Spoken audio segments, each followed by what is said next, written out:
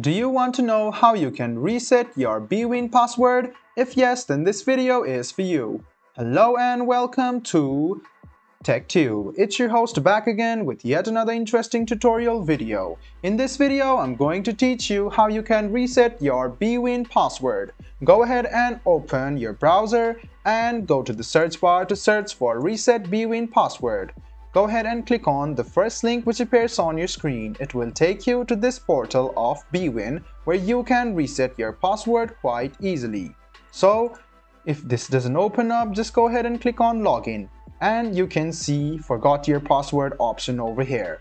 To reset your password, go ahead and click on forgot your password. Now what you need to do is write down your email address in this box, your date of birth, and then your yours, oh, yours too and go ahead and click submit.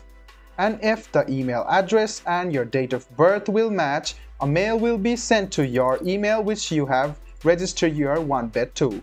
And your reset password can be on your mail or you can see that there will be an option to reset your password by following the link. So guys, this is how you reset your password on BWIN. I hope this video was helpful for you.